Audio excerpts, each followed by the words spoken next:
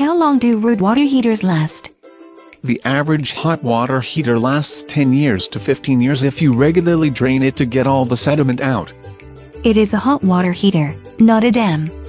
There are still trace minerals in the water and rust picked up from your pipes, though that is lessened by a water softener.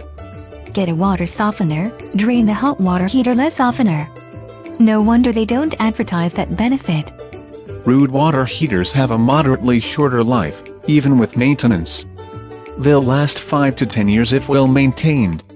What goes wrong with them? There are standard failures like the heating element going out or pilot light having problems. That's standard regardless of the brand.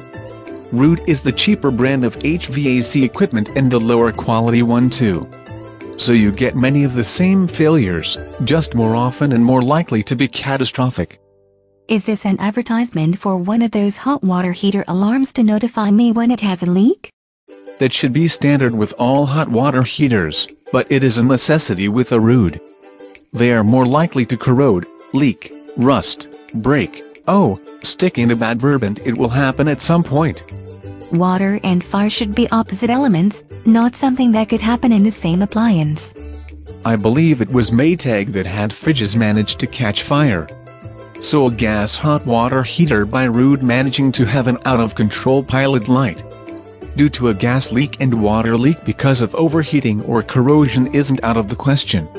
It sounds like the hot water heater lasts until it has its first catastrophic failure. And that's not going to be more than a few years away. Then the Ruud unit is going to last a long time sitting on the showroom floor.